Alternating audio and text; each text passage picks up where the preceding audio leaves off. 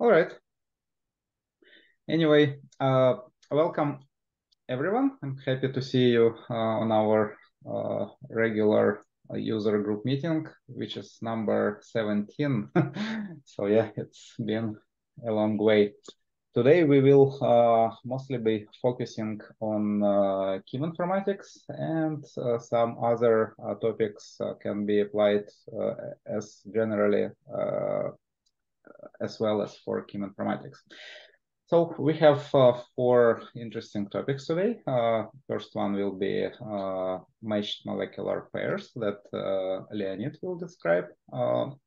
then we will go over our new uh, really cool functionality, which we call uh, sticky meta, uh, that Konstantin will uh, tell us about.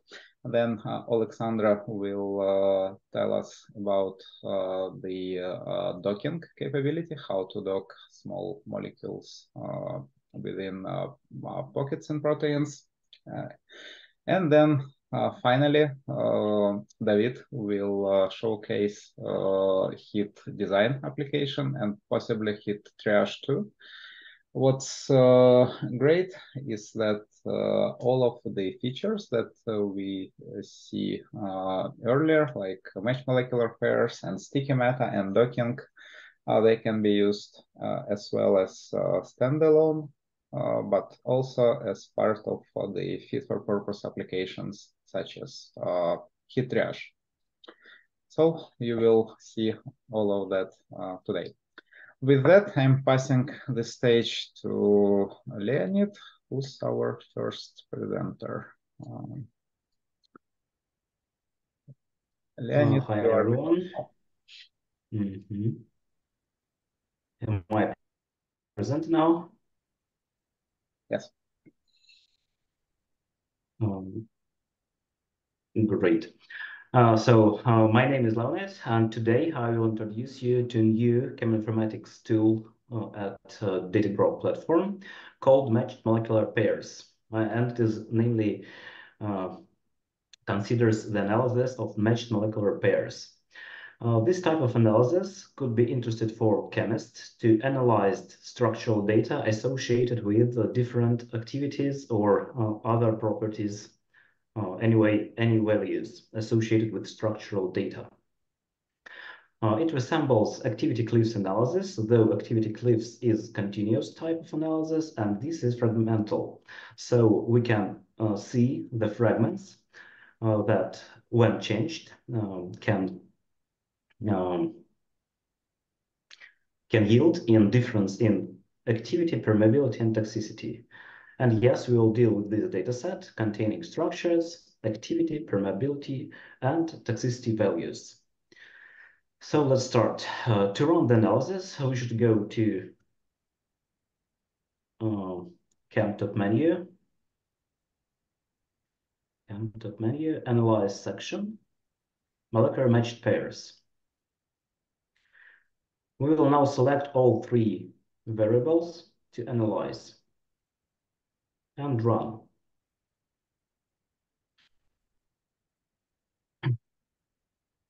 So here are the results. All the results of the analysis are grouped to four different representations. They are transformation step, fragment step, cleave step, and generation step. All of them represent the data in different forms. Transformation is used to visualize the different fragments and substitutions of different fragments. Fragments tab uh, is used to uh, analyze the whole data set, the, the, the whole uh, set of substitutions uh, in fragmental space. Uh, Cliffs is the visualization um, on the chemical space, uh, and generation is the tool to get all the possible combinations. So first one is transformations. Here we can see that we selected a molecule, number six here, and we can see that uh, there are two types of fragmental substitutions available for it in the dataset. From the ethyl group to the methyl group, and from the ethyl group to the hydroxyl group. Uh, the number of pairs here uh, represents the number of cases in the dataset that have such substitutions. Uh, so we can see here, if we change the ethyl group to methyl group here, uh, in mean terms, uh, it will uh, yield in difference in activity of 0.91. Uh, but the permeability will be lower. On the other hand, if we take the example of substitution from ethyl to hydroxyl group, uh, the activity will raise even more, uh, but the permeability will be even lower here. So the possible substitutions are specified in fragment section. If we look to the pairs section, it is associated to the pair of the fragments in the fragments section. Uh, and here we can just uh, observe all the available options in the dataset corresponding to these substitutions. It could be rather um, valuable information uh, as uh, the mean difference in activity, permeability, and toxicity are formed from these cases. And uh, if you have more cases with such substitution, then the more appropriate result, statistical results you will get. Uh, but anyway, uh, the chem chemist could analyze uh, if the substitutions were not mm, as, as he wanted to see, for example. Uh, if we change it, we will see the other set of substitutions. Uh, all these substitutions will be highlighted and the specific values will be shown here. Uh, this is for the transformation tab. If we go to fragments tab, let's do that. We'll see the whole space of fragmental substitution. And as you can see here, some cells uh, contain the data and some cells are blank. For the blank, uh, for the blank cells, it means that for example, this um, is a propyl group changed to this uh, ethylchlorine group. Um, this data is not contained in the dataset, so there are no such cases. For all the others, we can analyze the possible differences uh, in um, activity, permeability, and toxicity matched with different bars here and different colors as well. Uh, so for example, here from this fragment to this fragment, we can see that there will be uh, the loss in activity, uh, but the positive effect for permeability, though uh, the toxicity will also rise. Uh, so here you can just visualize uh, and analyze all the possible substitutions that are derived from the given data set. Going to the next tab, please will bring us to the chemical space. And here, uh, the usual chemical space is augmented with the, the, arrows. And arrows correspond to differences in our analyzed data in activity, permeability, and toxicity. For example, we want to filter it uh, and to get all the cases where activity difference is higher than 10 and the permeability is higher than 10. And uh, for example, just let's click for uh, toxicity value either. Mm -hmm. uh, let's zoom in for this group of molecules. Uh, and here we can see the class of molecules. Uh, actually, they are re really similar, uh, but some groups changes. Uh, and also we can see rather typical situation when rise in activity will have the negative effect in permeability, the rather frequent case in different studies. Of course, we can um, click on the arrows and to observe uh, what is in the data set uh, to make it more precise if you want to. Uh, for any error, we can get the results. Uh, just like that. So observing this data, uh, we can specify uh, the options or the limits, how we want to filter, and get the specific cases where these situations are realized.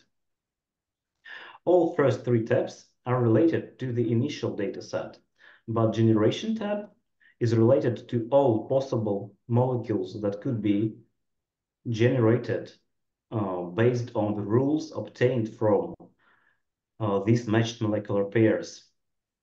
Uh, for example, uh, let's observe uh, this one with permeability. Uh, first of all, we, we see the molecule. It, it, it, it uh, is in the data set, and its permeability is minus 6 here.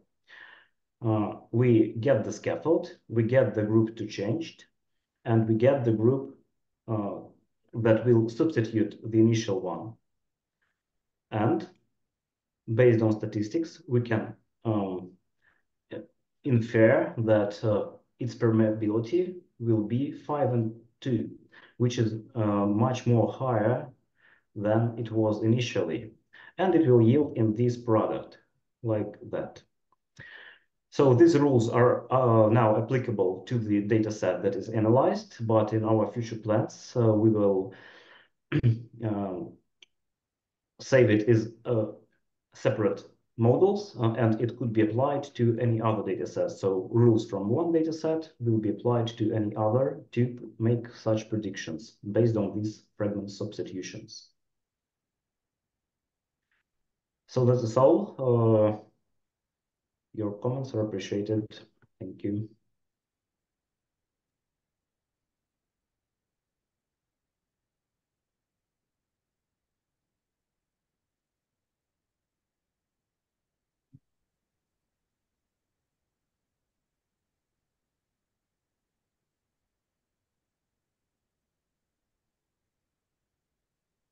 Okay, uh, thank you, Leonid. Uh, yeah, I'll give you, if there are any uh, questions, uh, that's uh, a good time to ask. Uh, otherwise, we'll switch to the next topic in a couple of seconds. So um, one question from my side. Leonid, what are the plans for the future enhancements for the MMP? Well, so the first one, as I have just told, that uh, is to save these rules and to apply them to any other data set to get the predictions of how these properties could change. Mm -hmm. uh, yeah, I actually have well, a couple of questions also. Yes. So. Should I share it one, one more time? Yeah, I was wondering how the predictions were calculated. Uh, was it just based on uh, the average increment uh, across all the available yes, data? Yes, for now it or is some, something more sophisticated. Mm -hmm. uh, yeah, that's true. Uh, it it is now just the mean value of the difference that was mm -hmm. taken from the whole data set. Though, uh, if we want, it will be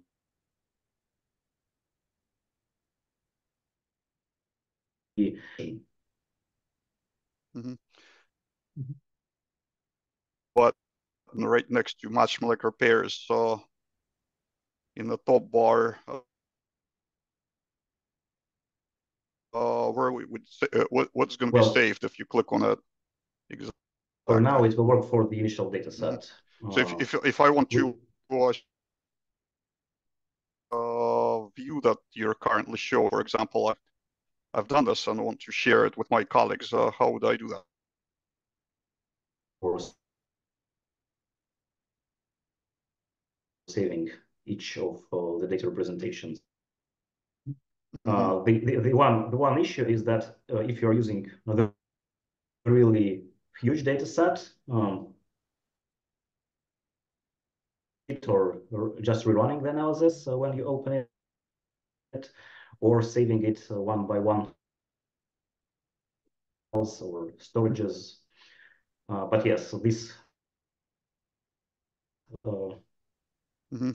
uh, we are working on this question and the data, of course, uh, you you will have uh, the possibility to save it. Mm -hmm.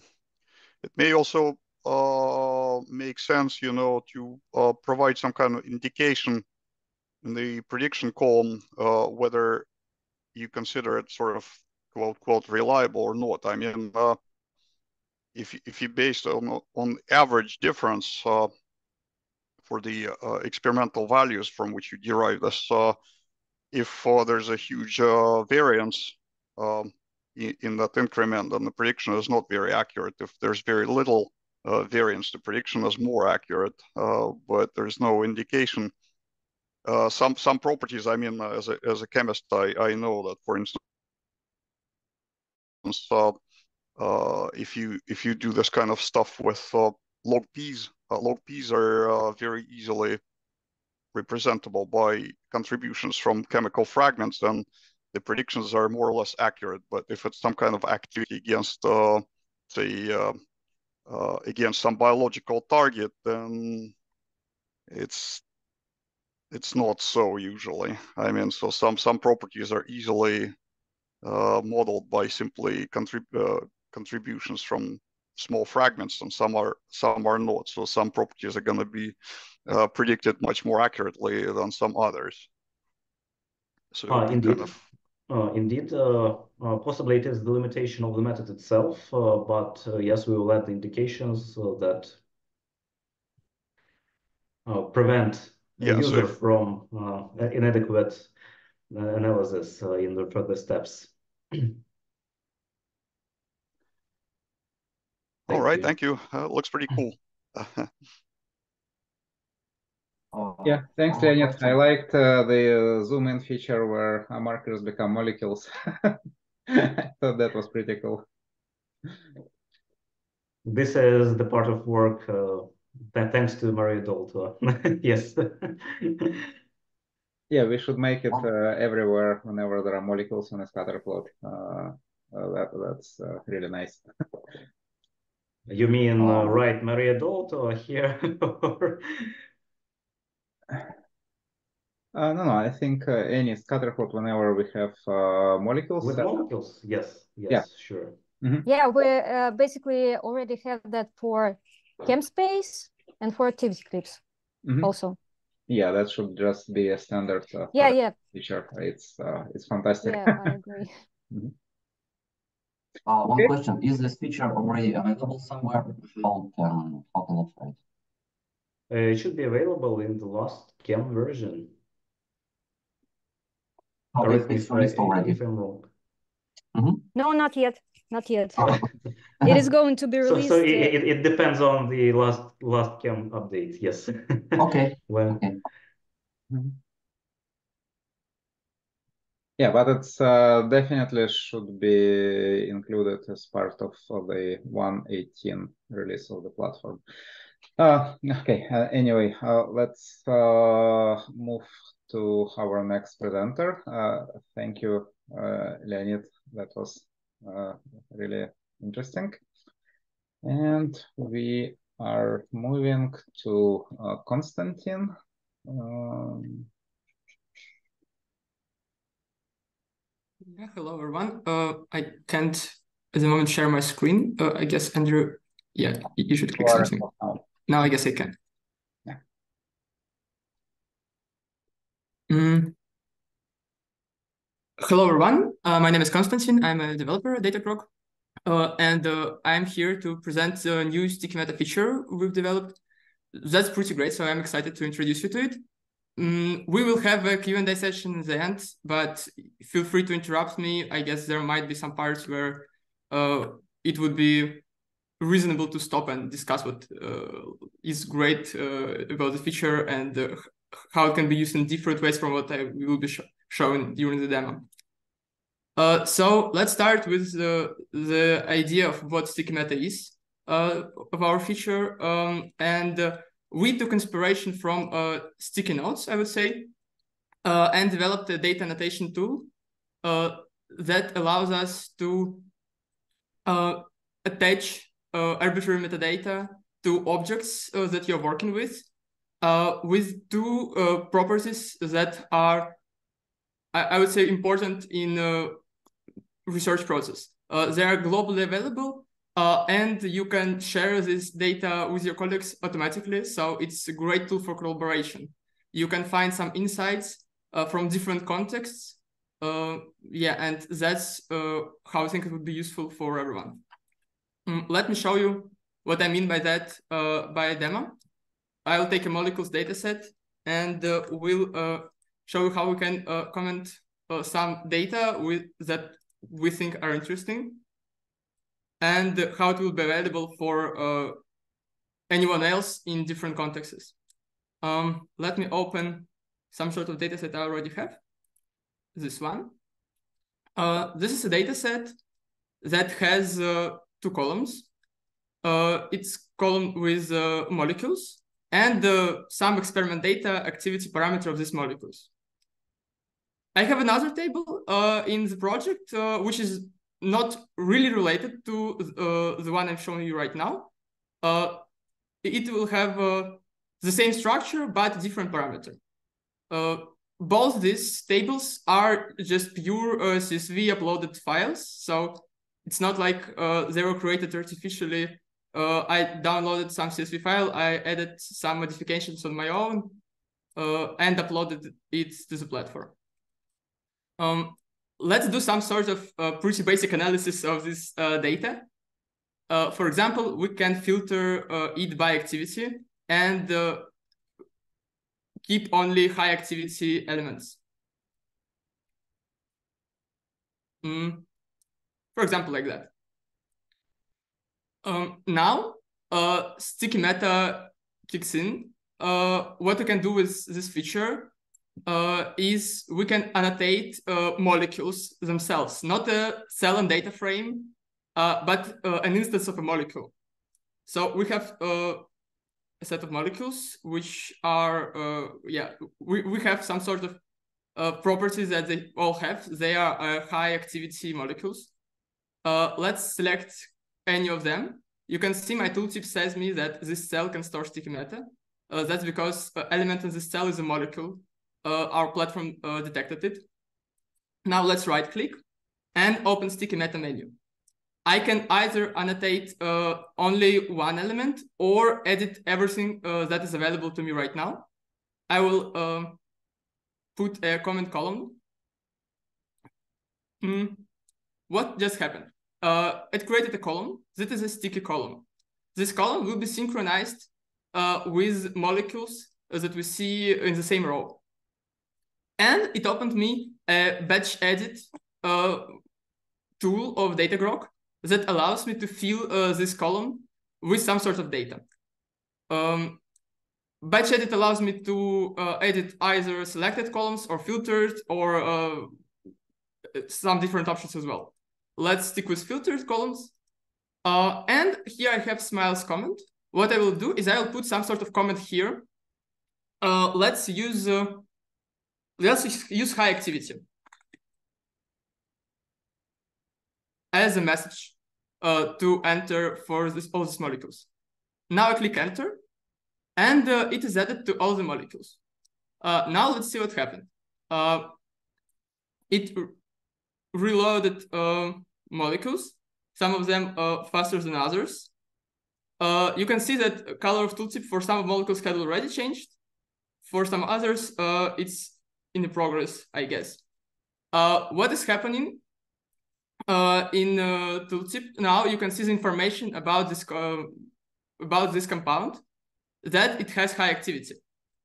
What is great uh, about that is the fact that now we can move to another data frame, an O count, and uh, in this data frame we have a different set of molecules. They are also annotated with uh, dot that tells us that this cell can store sticky meta. But let's now go to filtering options. And now we can see that Smiles column, it has sticky meta values. Uh, so we have a tag icon available. And if I click on it, it allows me to perform filtering uh, by this comment parameter I've already added. Um, so yeah, I clicked on it and it allowed me to filter only molecules where comment is high activity. So that's a way for me uh, to fetch data from uh, another context without even knowing where this table uh, was uh, before. So uh, working with uh, an account table, I don't need really a data frame that had activity data before. it works from a, any context, basically. Um, let's yeah for for example you can see that this benzene molecule uh, it has high activity tooltip uh, and uh, exactly the same molecule uh, we had present over here so that's overall flow of how it works. Um, and uh, now what I plan to do is I plan to uh, tell you more about how it works. Because uh, I showed you only one use case, but overall uh, you can attach uh, metadata to basically anything uh, that you store in your tables. So it's really powerful and yeah, I, I guess I, I, should tell how to configure it, how to use it in your projects, uh, and uh, take the most of it. Let me move uh, back to my... Uh, thanks. Let's probably pause for a second. Uh, and before we go to how to use it, let's make sure that everyone understands what uh, we are doing. I think it's pretty clear, but let's just reiterate. it's a way to add structured information to data points that would be available globally across the whole organization. So for instance, you can put a comment to a molecule in one place and your colleague uh, on the other end of the world when he or she is looking at the same molecule will immediately see uh, uh, that uh, comment.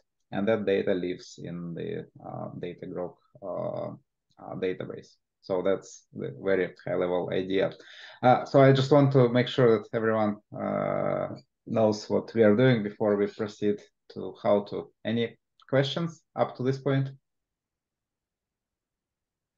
So uh, one question, Andrew. Um, where does this? Uh, so right now, this is uh, the two CSV files that he's showing, right? Um, but uh, you mentioned they get stored in database. Uh, how do how do you store it? This seems like it's um, on the platform. Right? I mean, on this visualization right now. Mm -hmm. Um, yeah. Uh, so um, the way they are stored um, is we basically attach uh, a value to uh, a molecule and we store uh, in a database information then a molecule that we identify as uh, uh, I don't know, like for example, benzene uh, stores this sort of string value. Um, mm, you can export this data as a column so yeah, I can, for example, remove this column and uh, it would uh, still work. Uh, the just we have supported uh, the functionality to uh, export this data as a column. For example, uh, if I go for sticky meta of this cell only, I can see it has some data. But not only that, I have a plus button that allows me to export it. Um, it will take some time. Yeah, and it uploaded it. So uh, the data that you see here, uh, this data is uh, sourced from the database. And uh, for sticky meta, source of truth is the data from the database. And uh, we supported our uh, table views to work with that data. Mm -hmm. See. Yeah, thanks, uh, Let me also rephrase it uh, slightly uh, differently. Uh, yeah, the data is stored in uh, the Datagrok uh, metadata database. Uh, the key is the actual uh, molecule. We canonicalize it, uh, so we can use, of course, molecules and any other types, and there is also a way to canonicalize uh, the uh, key. Uh, in yeah, that's exactly what I was going to talk about later. Yeah. And yeah, I tried not to overcomplicate things at that moment. Right. I, am just, I know that people will ask that question because everyone knows how molecules can be represented. Uh, so the column that you see on the right, which is uh, smiles, uh, column comments smiles is the name of the schema, and Kostya will explain it later, and comment is the name of the field. Uh, you also mm -hmm. see the uh, circle uh, in the column name, and that means that this column is special it's uh, materialized uh, in uh, Kostya's session as a regular Datagrok data frame column, but also at the same time, its data, the source of truth, lives on a database. So if uh, Kostya will uh, edit uh, any field, the database value will change. And if he has privileges, of course, subject to restrictions, uh, and the other person will uh, see the uh, change. So these are actually data that are attached to objects. they can be molecules, they can be anything, and Kostya will describe later how to mm-hmm. create schemas, associate it, and so on. Uh, but uh, yeah, that lets you uh, uh, create and manage structured uh, metadata related to any objects, not necessarily managed by Datagrok. For instance, this could be well, molecules we already see, or uh, proteins, or experimental plates, uh, or ChEMBL IDs, anything. Uh, the only need, the only requirement here is to obtain a key and a type uh, that we can later associate in our schema. And this is uh, what Kostya will explain now, uh, how to do it. Okay. Mm -hmm.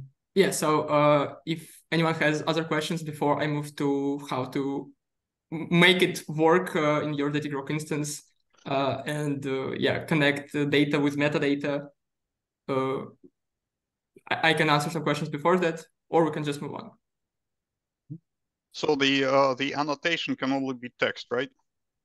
Uh, not necessarily. So uh, in this case, I uh, chose a text field, but overall, uh, you can we support uh, several uh, basic types right now, uh, and uh, we are on our way to support uh, multiple different editors for them uh, and uh, um, extend it further.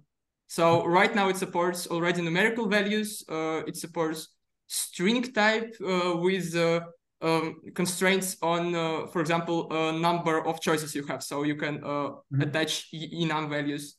Uh, it also supports uh, Boolean values and date times as well. Yeah, uh, and we can also specify the semantic type of the uh, attached property. So for instance, uh, if uh, the object that we attach properties to is, for instance, a protein, we can specify that the property could be a string, but the semantic type of the string is a molecule.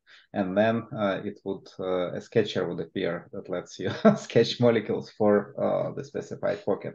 So uh, we really reuse that uh, concept of uh, Datagrok uh, inputs, uh, semantic types, and metadata, and it all comes uh, together. And properties are also aggregated in schemas. So, well, Kostya, they have the stages here. So yeah, it explains schemas. And... yeah, you, you, if I let you talk talk for longer, you'll you'll redo the second part of my presentation. so yeah, let's move on to the uh, just, just, just yet another oh, yeah. quick, very quick question. Yeah, of course, so, of course. Uh, what will happen if you have if, if you attach more than one sticky attribute? Uh, how would it appear? Um, I'm. Uh, let, let me think if I can uh, demonstrate for you quickly without breaking the overall flow. Uh, I, I will demonstrate it uh, like yeah. two, two minutes later, I guess. Uh, but right now I can just uh, tell you that when you open a menu for uh, editing uh, sticky metaphor itself, you will have multiple fields over here.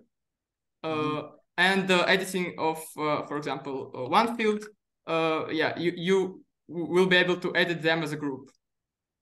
Mm -hmm. And, and, and, that little, mar ex export them marker, as multiple column uh, little marker, colored marker uh, at the top right uh, corner of each cell, uh, will it be like multiple markers or is it still one marker? Uh, at the moment, it's still one marker.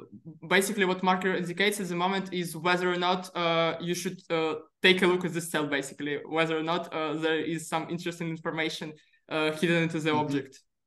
Yeah, the ah, dark oh, okay. marker means that there is some metadata associated with the data point, and uh, the light marker uh, means that uh, nothing is associated, but it can be. Yeah. Hmm. All right, looks interesting. Let's see if the users find it useful. As Viktor Lobanov said, remember, we should give our users something useful to use. yeah, exactly. Um, so yeah, let's move further. Uh, I will now, if I can click, of course. Um, I will uh, tell you about how it works uh, under the hood. Um, so let me introduce you to the concept of entities that Datagrok has. Basically, uh, in Datagrok, uh, most of uh, things you see on the platform is an entity uh, it's it's sort of internal one. Function is an entity, table is an entity, project is an entity, etc., etc. Uh, and uh, of course, they have their uh, own uh, identifier and they are stored in the database. What we do for sticky meta is we extend our uh, concept of entity to external entities that come from data. They are accessible from tables, and we identify them using a key of this of the object in the data. And uh, as well as internal entities, external entities can uh, support and have some metadata attached to them we store them uh, in database based on the key that uh, we get from them. Uh, in most regular case, uh, their key would be just their plain uh, values uh, converted to string. but we support, and I will tell you about it later, more advanced ways to do that as well. let's move from uh, the overall concept of entity to how we specify what is an entity and what is not, because that's another interesting question. Uh, and um, I'll just show you right ahead how it looks like in uh, the platform. Um, what I will do is I will go to sticky meta section in our platform. This is the way where we where uh, we can specify the data that we are working on and uh, what, what exactly the platform should be looking for. Because uh, as you've seen, uh, it doesn't highlight numeric cells, for example, it only highlights molecules. Um, I, we have several types over here. Um, let me show you, for example, molecule type is the type that we worked on, uh, worked with uh, just before. Um, let me show you what it has inside of it. Uh, its, its name is type, and the only thing that we really need for uh, sticky meta to detect objects is a sort of expression that works on columns. Uh, so for example, for detecting molecules, it's uh, as easy as just specifying that a semantic type of uh, the column is molecule. After that, uh, platform automatically uh, fetches uh, all the columns and with, while working with columns understands if column is special or not and if, if, if it stores some objects we can work uh, with uh, any arbitrary uh, column text as well. For example, I have uh, a demo file uh, of uh, st study example, I would say, that was created automatically using our JS API. here you can see that matching expression is different. It matches columns that are marked as study. And I will show you right now how it looks uh, into the demo table because it looks, I would say, differently from molecules in a way and uh, it would be interesting for you as well. Um, we can also we support multiple tag values. Uh, so for example, we can write source equals study, comma, uh, ID uh, equals uh, I don't know, uh, and some sort of UUID if you wish. Let's move to another demo file that was generated using the API. So here, yeah uh, we have a, a, column study. And uh, as you can see, I will open the properties of this column. And you will see here that this column has tag source equals study. Because of this tag, Datagrok knows that we should look into it and that we should uh, try to find objects from here in our database. Uh, before the demo, I've already put some values into it well, not, not me exactly. I just uh, ran the uh, script from our samples that did that for me. Uh, and you can see that I attached some data uh, to any cells uh, from here. Um, and let me open one of them. so to answer the question about data formats, you will see that, for example, here, I can attach a date time basically, and I have our default editor for, for data time. Mm. Not only that, but also uh, sticky meta works, uh, I would say, uh, uh, another way as well. Uh, not only you can uh, edit uh, sticky meta from, uh, for, for example, this menu or from batch edit. You can also edit sticky meta directly from your column and it will be fetched. Uh, let me select some data that is easy to show you. Uh, I would say this one. Uh, it is the 7th of the March, uh, and I change it to 10th of the March, for example. After that, when I go to Tooltip, it fetches new data.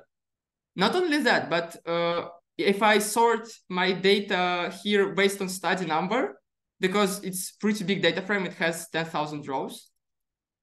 Uh, every element in here will have uh, the same new data uh, and uh, the same tooltip. So the data is updated every time we work with it. Uh, mm. And at the same time, uh, as, as you can imagine, I wasn't like specifying directly how to work with uh, such strange formats, study 99, uh, study, uh, study 98, and so on.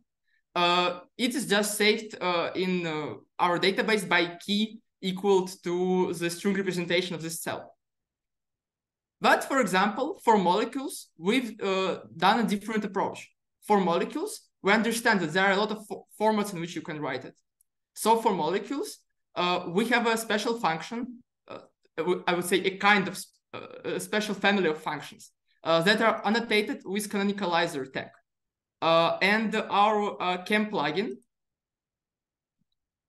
it has already defined function for canonicalizer purposes, this one. And yeah, it takes molecules an input and produces molecules an output. And this function can be used uh, to move uh, data from one format to another and uh, to transform your molecule from, uh, for example, uh, mol block uh, to canonical smiles. And then use canonical smiles key to save data into the database. So that's great because you don't need to specifically worry about formats you're working in. it's in a sense, it's better than just pure uh, join by uh, some string value. Now, I think uh, it's a great time to answer some questions regarding how we define uh, and detect entities. Uh, and if there won't be any, I will go to how we uh, define what we attach to the objects themselves. What's the data yeah, Kostya, we should be uh, a bit considerate of the time. We still have to oh, yeah. Uh, so maybe we uh, yeah okay I, I, I, can go great uh, details uh, on uh, all the plumbing, especially considering that it's all documented now in wiki. But I, I think what we should show is the concept of schemas and how we yeah yeah that's exactly what I. Yeah, and also what's important is the other way. How do we browse the data going not from the data points but from schemas? Yeah. Uh, yeah, of course. So uh, the second uh, submenu of sticky meta is schemas, and we use schemas to define what data do we attach to objects. So uh, schema are a two-way connector. So uh, we define what do we attach uh, this uh, data to. So we can attach this both to molecules and for study identifiers as well. Uh, and yeah, like that. Uh, and uh, not only that, but we can also specify how many properties do we want to attach uh, to this comment. For example, I can uh, take an author, uh, yeah, author name and add it to this schema.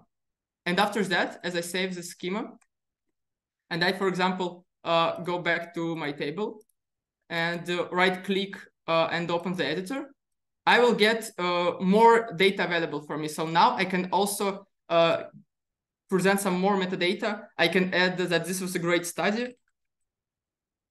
And I can add uh, an author, uh, I would just write my name. And uh, save this data as well. Schema work as a uh, block of data. So these values are grouped in a way. And now um, this data will be available uh, from Tooltip as well. And I guess to mm, have enough time for everyone else to present their features, I will move straight to Q&A section. All right, yeah, I, I guess it would be much more beneficial for everyone if I just stay here and answer some questions.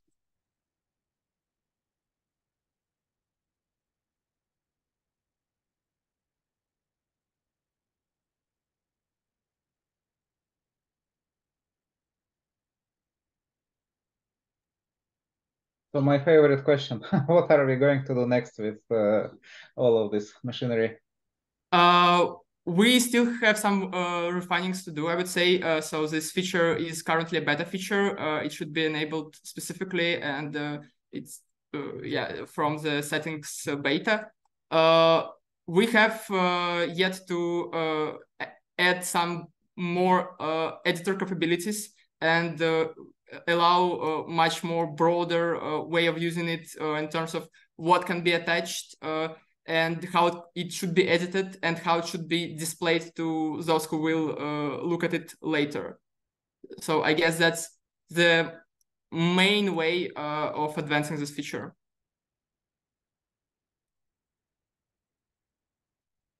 And yeah, I just forgot to show you that we also have uh, the same data frames, but with all the objects from the platform uh, in types menu. So you can access them from here as well it might be useful for you uh, if you, for example, uh, try to get information from all the data from the platform, not from one specific data set. Yeah. Well, uh, quite, quite, quite frankly, it's kind of a pretty, pretty uh, interesting thing, but I'm not really sure that's extremely useful, though. Uh, I don't, I don't see clear use cases where it would be like you, you couldn't do something uh, before, and then all of a sudden with those sticky metadata, uh, you would be able to do that. Uh, so that's uh, so one popular scenario is when you have an external database uh, like ChEMBL and you want to add another field to a molecule, but you cannot because it's external. Uh, but now you can do it with a Datagrok. So uh, all of the information would still reside in ChEMBL, but now you can uh, store additional information mapped to it, and it all will be uh, interactively uh, working automatically in Datagrok. And that's just one way. Uh, another use case is, for instance, you are running some sort of hit triage campaign, and you want to collect people opinions on well molecules. So you don't have to build any application. Uh, what you simply need is to define a mapping uh, and uh, set privileges who can edit what, and you are done. So uh, while... it sort of implies implies the presence of some kind of uh, unambiguous unique identifier of that object, right? Yes, yeah, th yeah, that's the whole point. Yeah. Yeah. And once you do that, you can add structures information, assign privileges, uh, and you automatically can uh, browse, uh, uh navigate, uh, analyze, filter it.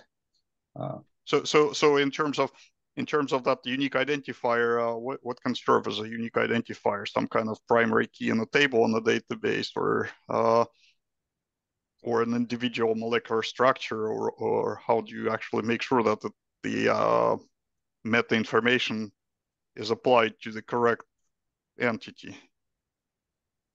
We take entity key, uh, as an identifier, we use a pair of uh, entity key and entity type.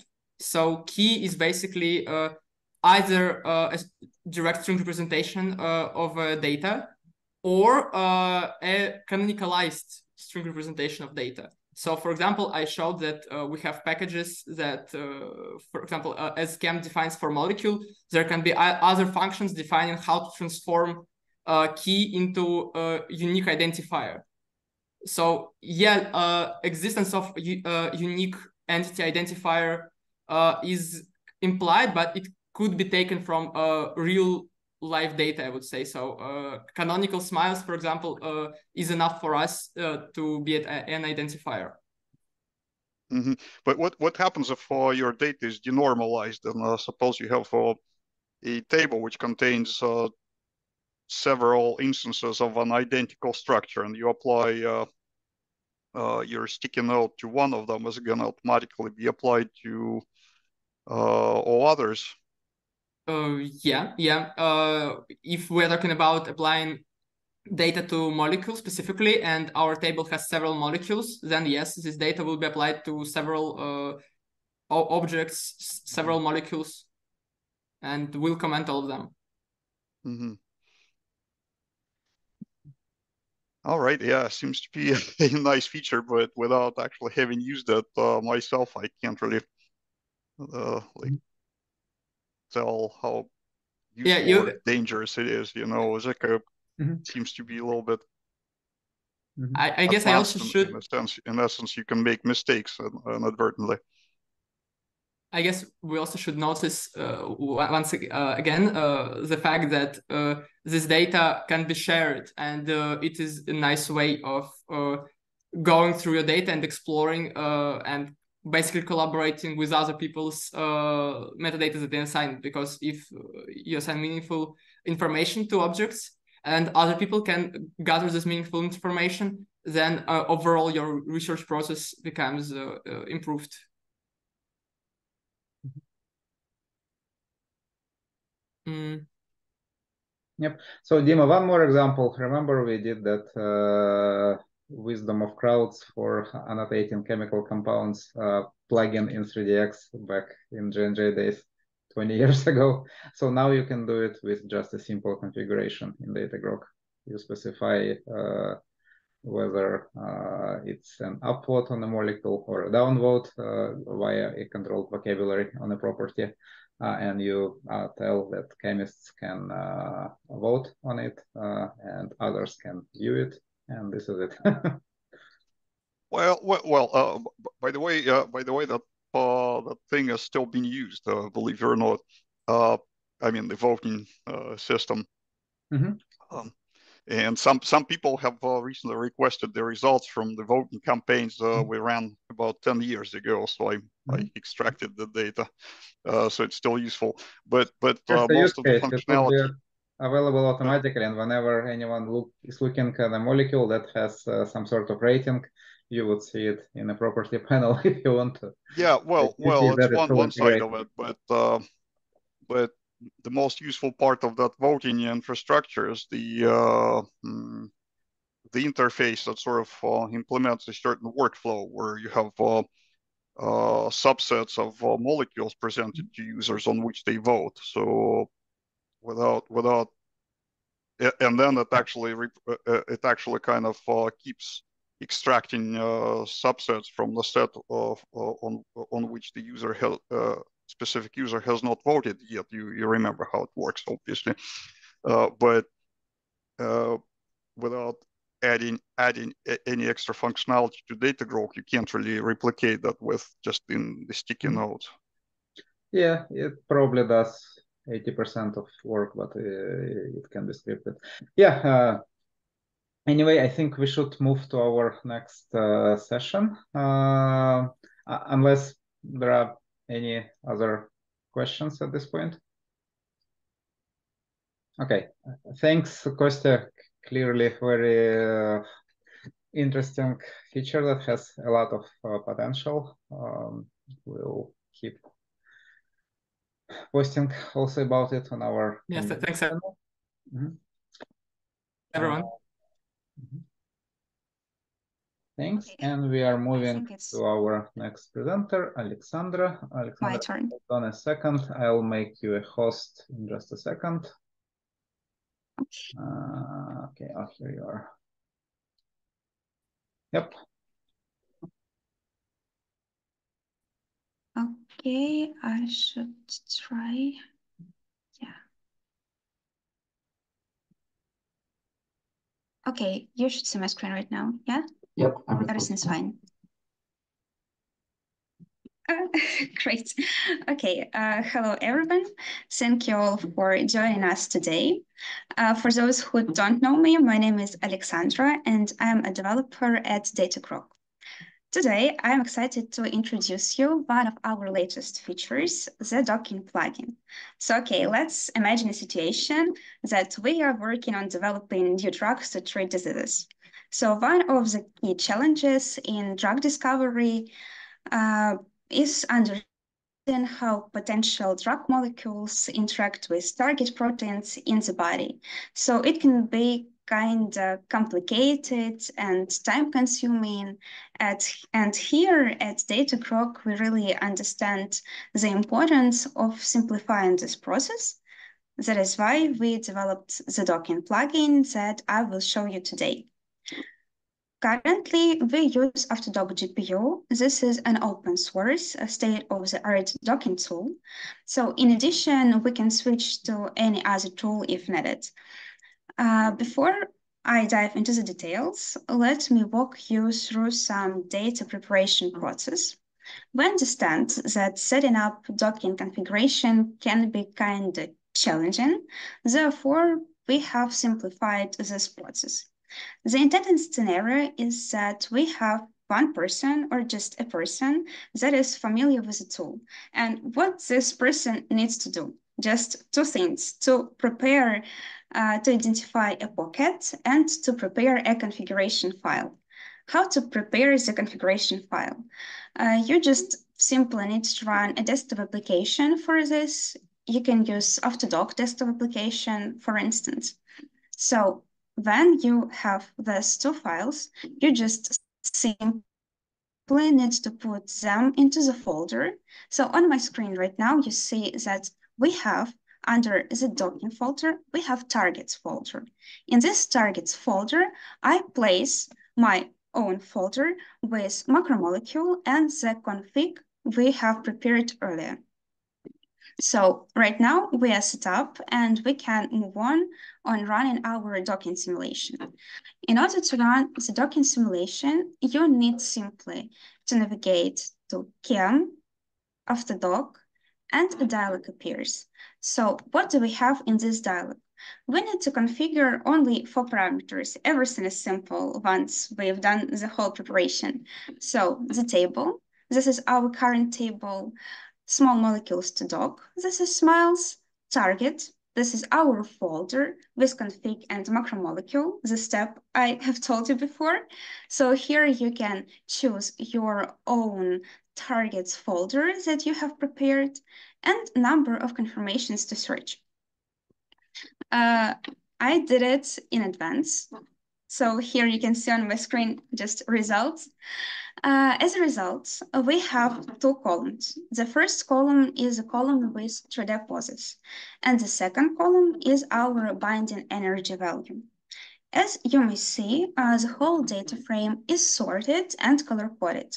We did it based on binding energy value, so uh, the lower value, the better binding, uh, the better stability. And one more thing. So when you click on the pose, on the pane right now, you can see our docking pane. On this docking pane, there is a MolStar viewer zoomed to the binding pocket.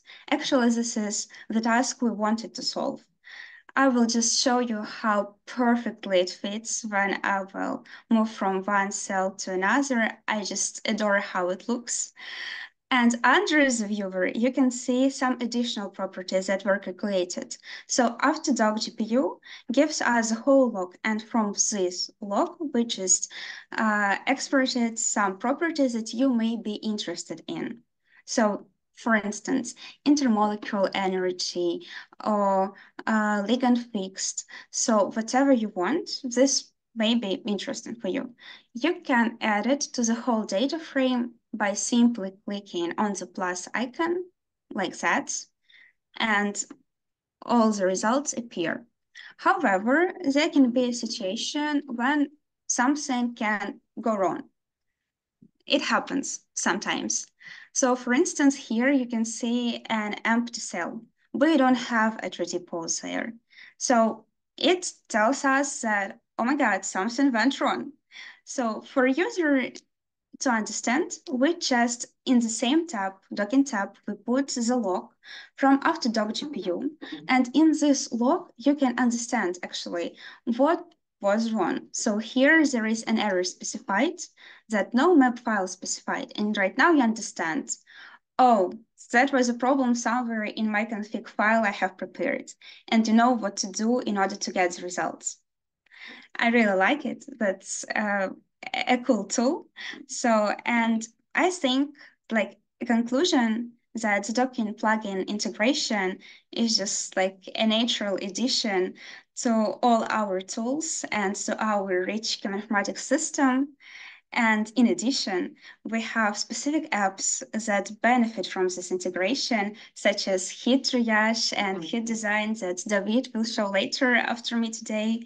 Therefore, I think that Docking plugin is just a perfect fit for this application and just for the users and makes your life easier, happier, and not so complicated for you as a chemist. Yes, thank you for your attention. That is all. Thank you, Alexandra. Uh, I really like how interactive uh, it is.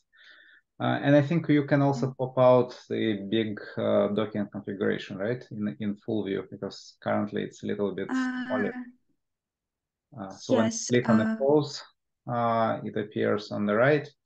Can we make it bigger and yes. explore it in more details? Uh, you want small star viewer to be bigger. Uh, yes. Yes, like that. Okay. Yeah. Okay. Okay. So actually, you can uh, go uh, in more uh, details. Mm -hmm. Yeah. Here.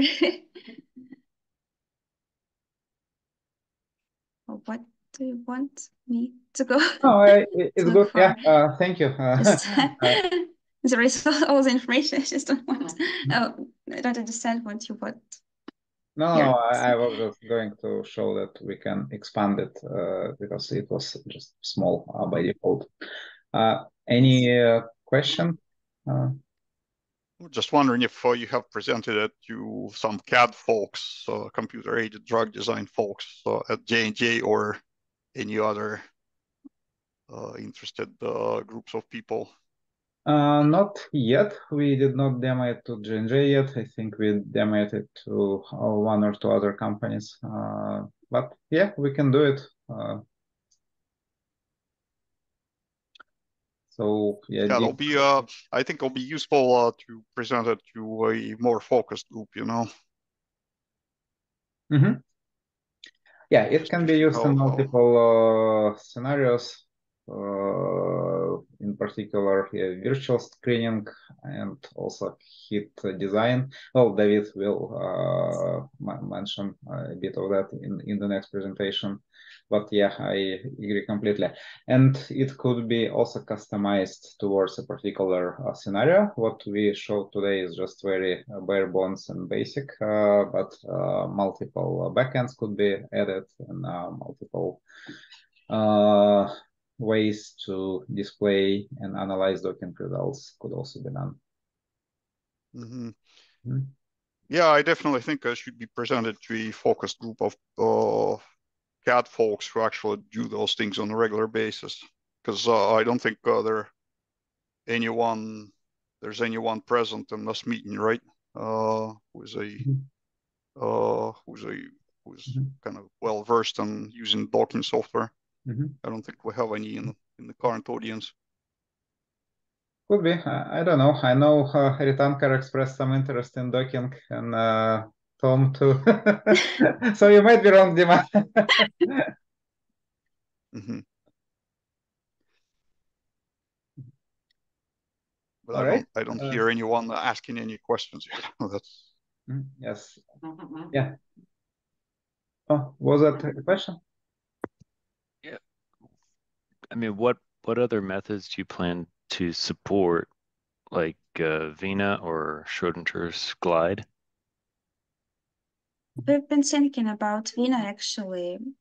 We can do this if there is a business case for this and if someone is going to use it. Uh, Andrew, we discussed it with uh, Andrew Santrosan about neomorphs use case because they uh, don't need just uh, this ligand receptor case. Yeah. Yeah, we can. If, if you need it, we can make it. There is no problem in it. We can adjust it. It it's quite simple. Mm-hmm. Yeah, the beauty is that uh, they all follow uh, more or less the same idea, where there is a configuration file that you can then run. So the complexity is actually integrating all of that and presenting the user interface. Uh, so this is uh, done uh, already uh, switching to a new backend is pretty much uh, straightforward. So we will definitely integrate with uh, probably uh, ArctiDock, which is uh, another state-of-the-art docking solution, which is now part of Bio NeMo, which is um, NVIDIA's life science platform. So plenty of opportunities to grow in different directions. But uh, Dima uh, is right. We yeah need to uh, explore and address uh, use cases and talk to the actual people who do science. Yeah, I think the the preparation step is you say like take some configuration and who would be an appropriate person to do that? Mm -hmm. Well, like a comp chemist or uh, yeah, yeah. Uh, sometimes uh, yeah, even human informaticians have enough skills, but uh the thing is there would be yeah one person who prepared the docking pocket, the, the experiment, and then, uh, for instance, chemists can start designing molecules, and as they design molecules, uh, they they will be docked in real time, so you can uh, already see uh, how it would work.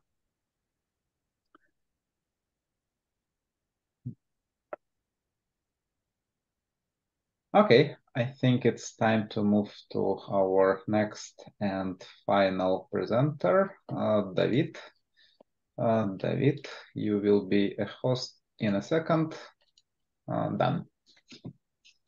Thanks. Uh, oh, oh, host disabled participant screen sharing. I'm still not a host, I guess. Uh, no, you are. Uh, hmm. Hmm. Can you try again? It still says host disabled participant screen. Uh, Andrew, I believe you uh, clicked on Denise instead of David. Um, okay, let me reclaim David. Now you are the host. Um, host. And now I. All right. Okay. Oh, thank you. thank you. Great. Um, hi, everyone. Uh, my name is David. I am developer here at Datagrok, and uh, I'm going to be presenting two new very cool applications that we've added to our platform, Heat Design and Heat Triage. Can you see my screen? Yes. Yeah, great. Uh, so you all might be very familiar with uh, Schrodinger's live design application, and uh, these two are quite similar uh, to that. Uh, but uh, what they also bring is all the uh, functions and all the cool things uh, of uh, the Datagrok, uh, that being uh, all of the viewers, all of the filters, all of the uh, availability of different calculations, and so on. so let's start with what you see here on screen, and this can be a typical campaign in hit Design. And here what I have done is created a campaign and designed a few of the molecules. And I have defined some of the uh, molecular descriptors that I wanted to calculate for them.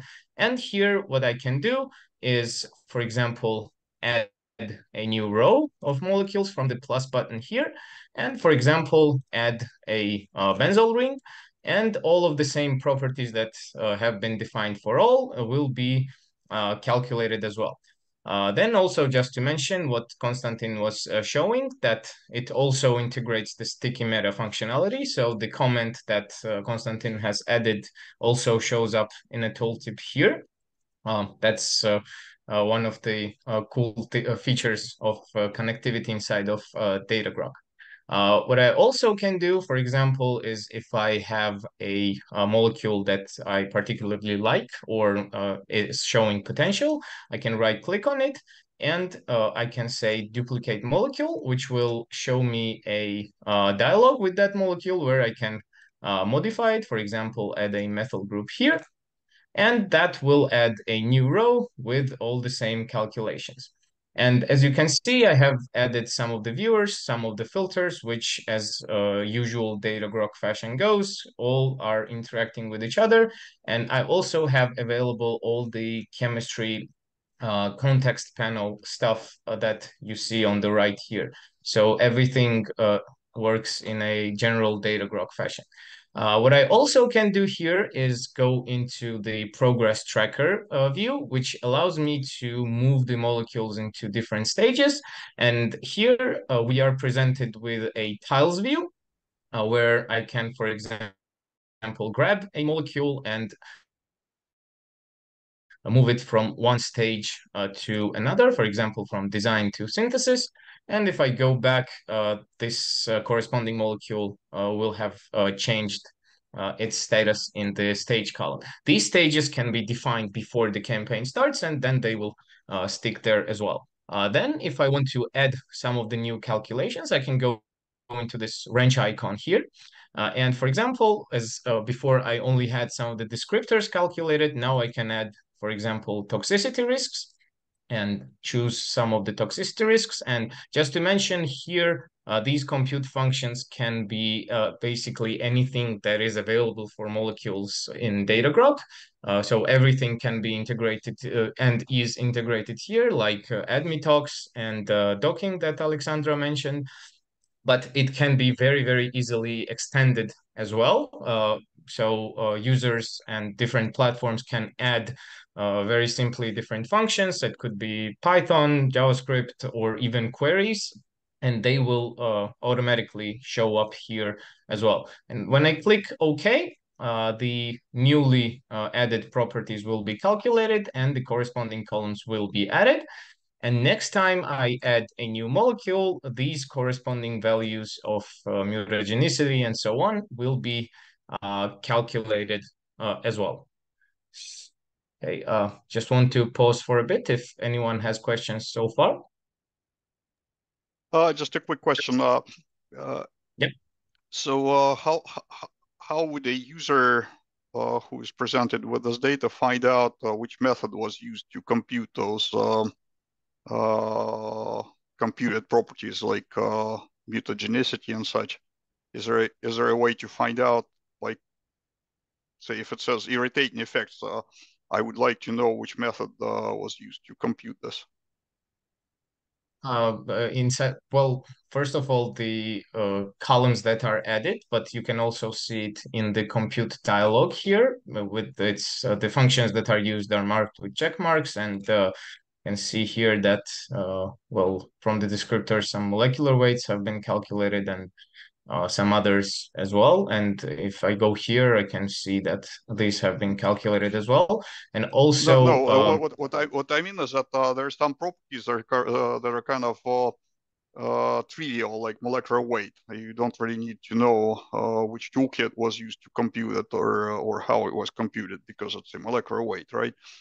But yeah. when we're talking about those properties such as like irritating effects or reproductive effects, I as a as a chemist, I would like to know which method you use to compute those. Uh, so if uh, if you just show that option list, right, uh, without showing any references to the actual algorithm, uh, I would say, oh, I wonder which which mm -hmm. toolkit was used because there are kind of multiple ways of doing that. It's yeah. because it's a model. Uh, yes, Dima, that's a great uh, question. That's probably something that we overlooked uh, in the user interface, but uh, we'll uh, correct it uh, very soon. So what needs to be done? David, can you please open that dialog where we select methods? Yeah, it should right. it should have some some kind of reference to the yeah. actual method or description or mm -hmm. link to publication or whatever for each All of right. those properties. Yes, I, will explain how it would work. So uh, on the left side, uh, so this list is actually a list of uh, functions uh, that mm -hmm. are collected dynamically based on the uh, metadata. and in the description of the function, we actually have references to the scientific method.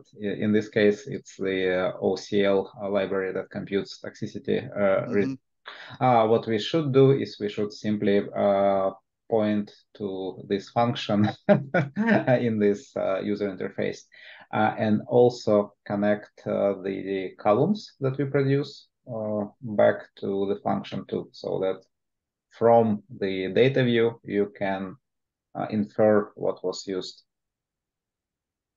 Uh, so yeah that's a great point Dima. Will introduce it. I completely agree Mm -hmm. Yeah, definitely, because it will uh, raise questions if you say, "Oh, it has high irritating effects," and then is it was it experimentally measured? No, I have computed it, and then next question comes, uh, which method did you use? Mm -hmm. Yes. Well, that's a great question indeed, and uh, I guess what Andrew says will greatly aid in in in that sense. Thank you. All right, uh, then I will go on. Uh, so uh, the coolest, uh, one of the coolest things about this application is very uh, that that it's very easily shareable on the platform. So once I've done all the calculations, I have uh, added some viewers for visualizing, I have filtered the data, so on, so on. Uh, what I can just do is either copy a link to a colleague. So if I copy a link to a colleague anywhere uh, else on the platform and he just opens or he or she just opens the link, they will be presented with exact same view with exact same configuration and exactly the same uh, exactly the same viewers. So uh, basically shareability goes uh, in a very root of this application.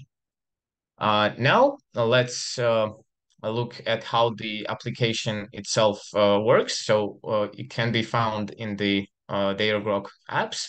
So we just click on hit design and we are presented with first a, a table of ongoing campaigns with a little bit of information about them. So where they, when they were started, how many molecules there have been designed and what's their status.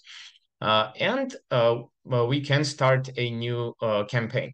So uh, all of this is built on the principle of templates and campaigns, and template will define what sort of uh, function uh, goes, what sort of functions are calculated for the molecules, what sort of stages there are, and what other additional fields uh, there are for the campaign.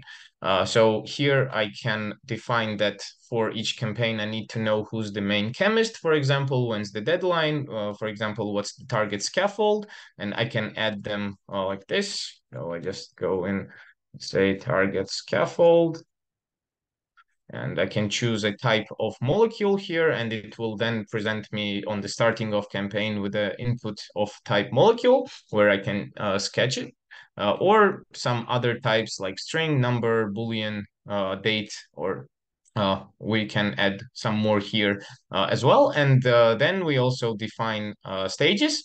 So in the previous one I showed you just here, it had four stages.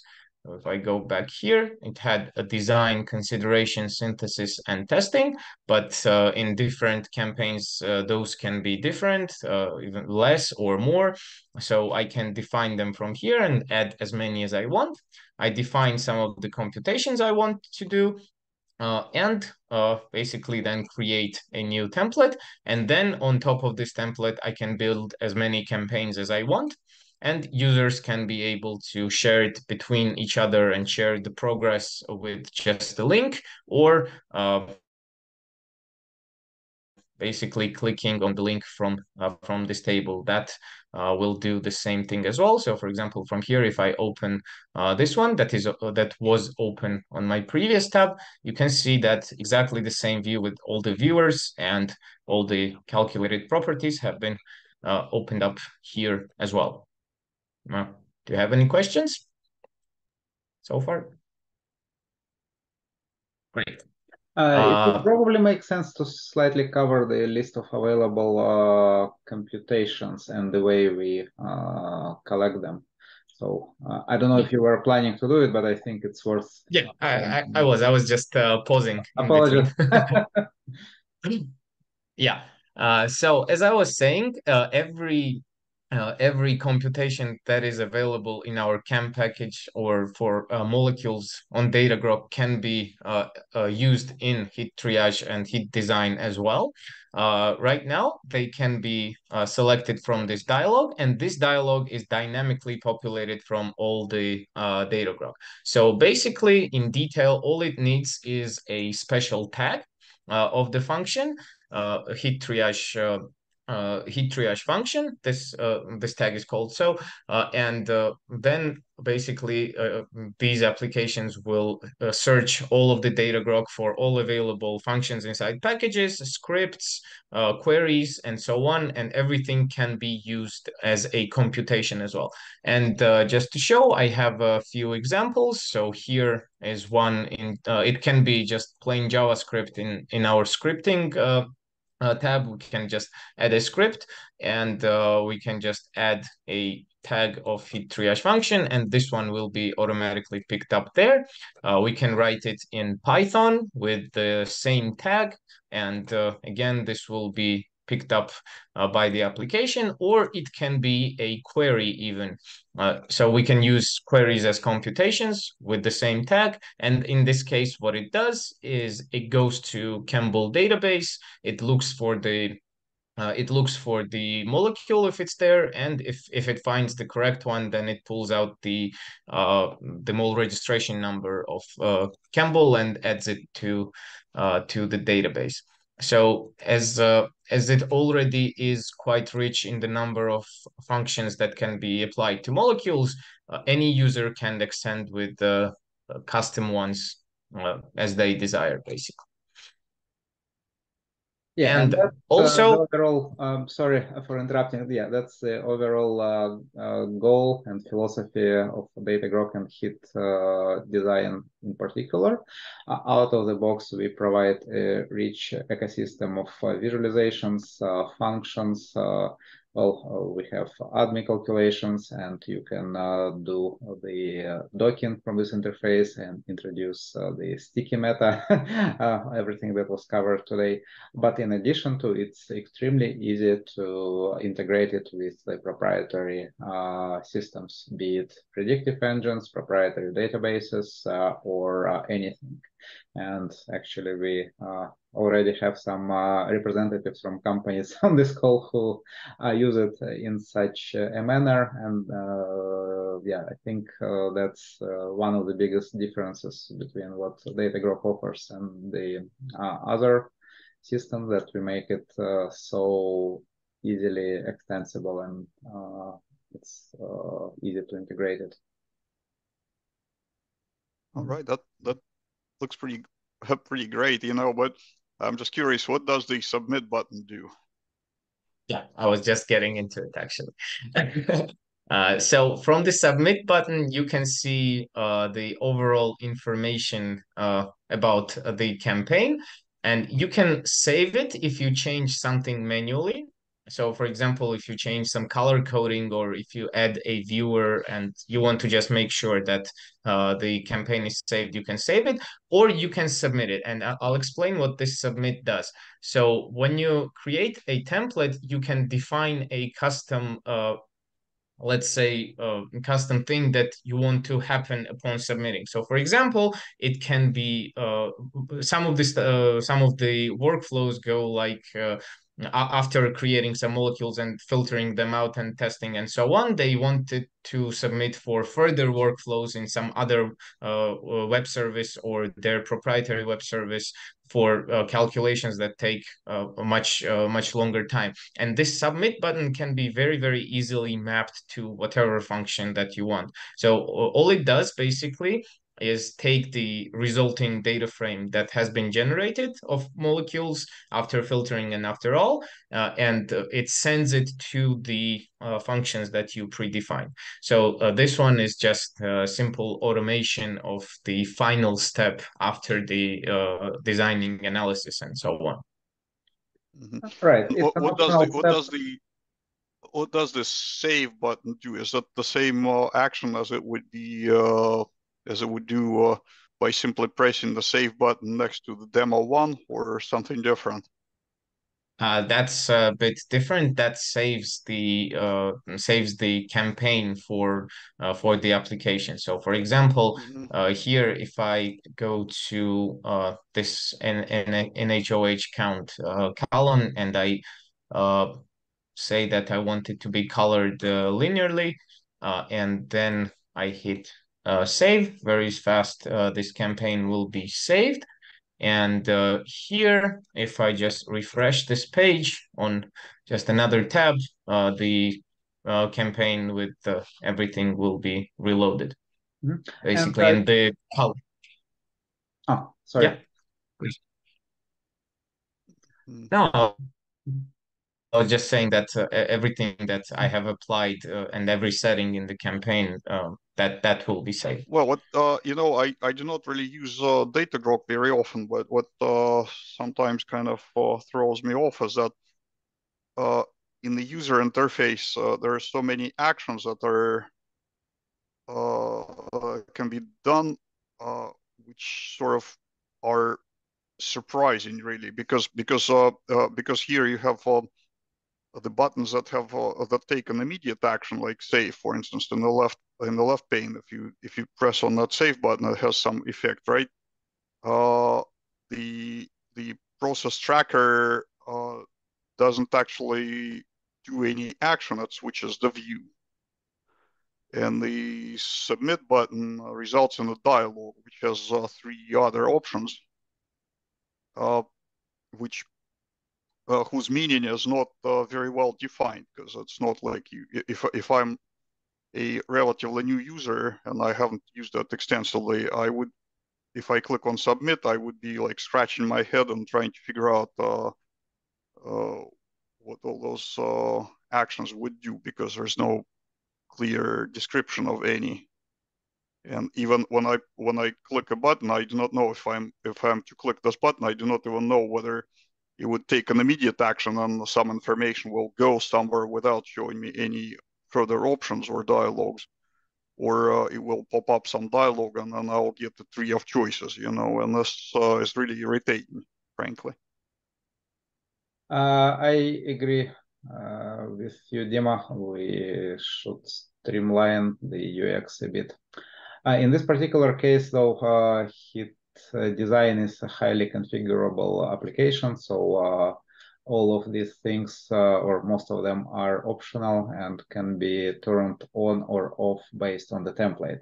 Because we want uh, the core of the application to be applicable both to smaller startups uh, that operate with minimum bureaucracy, as well as to big pharma companies. so, for instance, the submit is typically when uh, the collection of molecules goes between different uh, teams. So from the team who mm -hmm. designed it, for instance, to medicinal chemists. So this is a sort of formalized process and it's uh, specified in the template.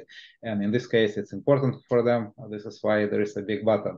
So maybe we went a bit uh, overboard in this particular uh, configuration, but overall, I agree with you. We should mm -hmm. take uh, should clean it up. yeah, there are some some some conven some conventions, like for instance, uh, normally if uh, uh, pressing some kind of button or interacting with control results in the dialogue, you usually use the uh, use of kind of three dots after uh, the name that would at least show that it will not take an immediate action. I agree completely. Uh, it's all uh, consistent in the main menus. Uh, we have uh, yeah, three dots everywhere when a dialog pop-ups and uh, when it's an, an, immediate action, we don't. Uh, in this particular application, yeah, we'll, we'll make it better. Mm -hmm. Yeah, but otherwise it looks kind of cool also the, the, the tooltip, you know, which has currently been shown none, none, none, none. Uh, uh, yeah. if you so so if you if you point point uh, where you were pointing before, right? Uh, you see uh, essentially none, yes. none, none, none, and uh, it's kind of hard to tell which which one is which. You know. What, uh, yeah, I'm reading the column names disappeared. We'll obviously address it. Thanks for noticing. Yeah. Uh,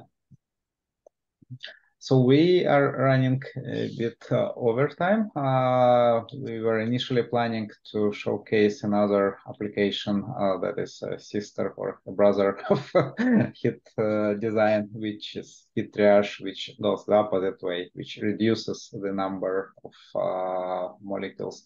But uh, we will cover it in our next sessions. Uh, David, uh, anything you wanted to, uh, any final uh, yeah, maybe in just two words about heat triage. It is very similar to heat design, uh, but instead of designing your own molecules, uh, basically you preload some of the data set that you have. And uh, this preloading can be done from a query, from a file, from a whatever. Uh, and uh, then the idea is to reduce the reduce the number by means of filtering, calculating some of the properties, and uh, stuff like that. But uh, all of the other things that I mentioned about sharing functions and so on are uh, equally uh, available in hit Triage as well. Guess that's it in two words. yeah, and we'll uh, demo it next time or in uh, three months from now. Uh, I hope to see uh, everyone uh, there. I think oh, yeah, we should uh, wrap up. Uh, we took hour and a half and a little bit more. yeah, thanks uh, everyone for your attention, for coming here. Uh, yeah, we are really excited about the way things uh, progress, all the functionality, and uh, thanks for supporting the platform and using it. Um, we'll I'll post the link to the YouTube once we process the video. And I'll see you in three months. Thanks. Thank you. Bye, everyone. Thank you. Bye-bye. Thank you. Bye. Bye. Bye. Thank you. Thank you. Bye-bye, everyone.